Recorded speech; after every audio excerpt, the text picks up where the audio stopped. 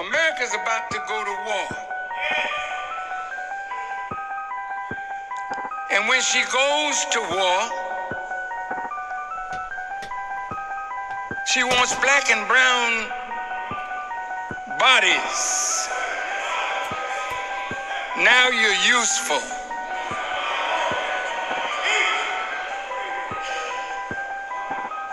They don't give a doggone about how black lives matter until they want to use black lives to accomplish their wicked end.